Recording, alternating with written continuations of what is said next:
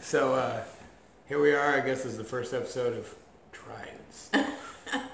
It's a working title. Working title. Working title is trying stuff. Uh, we also talked about new parents try cheap products because we're broke, and so that- And new parents. and new parents. So it's accurate. And today we are reacting to dollar store beer. This is Diesel Punk. Diesel Punk Pilsner. It's a really sick can. It reminds me of Metropolis. Metro- you're going Metropolis. I was thinking Sin City, something like that. So it's, It's- a it's a pilsner, 5.0 percent alcohol by volume. So It doesn't really.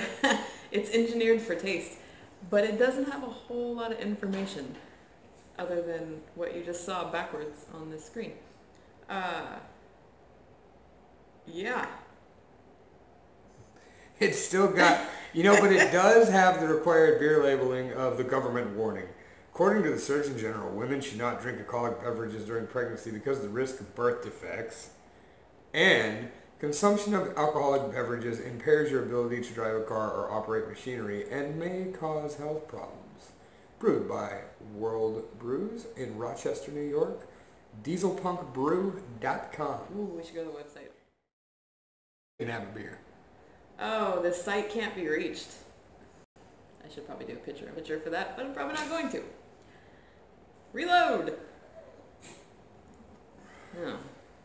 Alright, did I miss something? I don't know where my phone is. I spelled diesel right? I did. Punkbrew.com. Okay.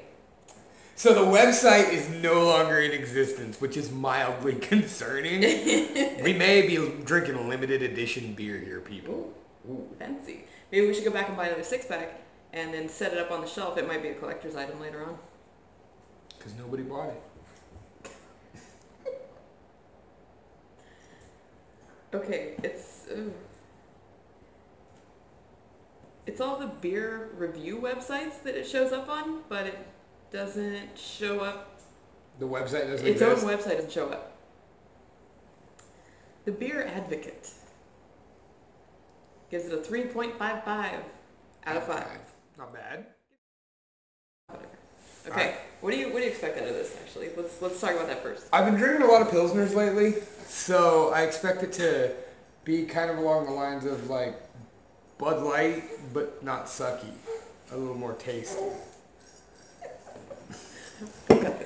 our, our kid is rolling, so we gotta roll him back over mm-hmm. because that, that that's where he's at in life. Tap, a little tap. Gotta tap tap tap the room. I'm so glad that didn't go badly because I just kind of shook this around. Okay. It smells like a, not a cleaning solution, but it smells different. Foamy.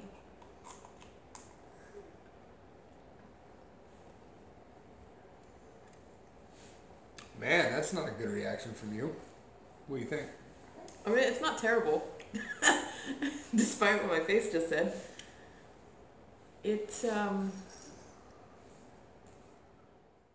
On the band. Going to show you a picture of this again because it's fun. If you have ever seen Metropolis, and you probably haven't, it's an old movie. It's a silent movie from the 20s, maybe teens, I don't know. But it's it's missing a ton of footage. so they did the best they could with it and they re-released it. They fixed it up, they remastered it.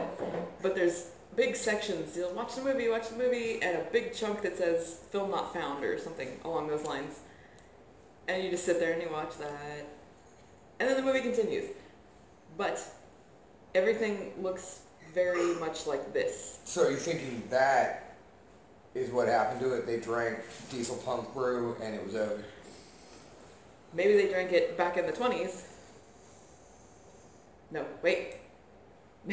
Maybe somebody bought this went back in time to the 20s drank it all made that movie and then lost a bunch of footage or set the room on fire i i think parts of it burned up I gotta look that up. I don't know. We'll look into it and get you that info. I didn't do research because I didn't plan on talking about old silent films in this video. That's a whole other topic of discussion. Well, I finished mine. It does have that bit of a bitter alcoholic taste at the end of it. All in all, I'd, I'd agree with that 3.5 out of 5 rating. It's not a great beer, but it's not a bad beer at all. I'd buy it again. But for the intents of this show, probably going to buy something different. So you head on down to your local 99 cents and more store. Check out the beer selection, because so far, so good. Be prepared to pay more than 99 cents. Definitely more. Not And, too much more. and more. Sidebar time. It wasn't burned up. They just lost it. They made the movie in the 20s. It disappeared. They found it in Argentina in the 60s, and it was about three quarters of the movie. I'm sure there's a good story behind it, but nobody knows it because the 1920s were a crazy time.